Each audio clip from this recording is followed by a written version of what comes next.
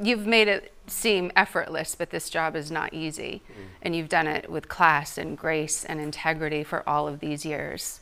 And it's been a privilege and a pleasure To be with to you. be beside you. Thank you.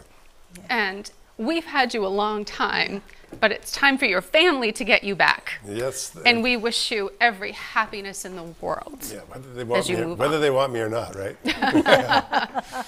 it's been it's been an incredible honor. Uh, what a wrap is, and thank you for the opportunity. Thank you for giving my family really everything a person could possibly ask for. Deepest thanks to all of our friends where we lived in Goffstown, Amherst, and Greenland. Of course, thank you to Hearst Television, and everyone here at WMUR TV. Thanks to the countless people who walked with me through a 45 year career. Thank you to the viewer who stuck with me on good hair days and on bad. and thank you to my family Janice, Tommy, John, Kristen, John, Liz, and Max, if you hear him back here, for putting up with the long hours, the public disruptions, but mostly for always being there. The rock underneath me, solid as granite. And thank God for good health and good fortune along the way.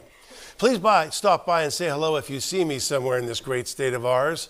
I'll be exploring, and you are likely to find me in the strangest places. And if you call me Old Man of the Mountain, please do it kindly. Yay. All the best. Tune in for New Hampshire Chronicle. it follows world news. We Have love you, Tom.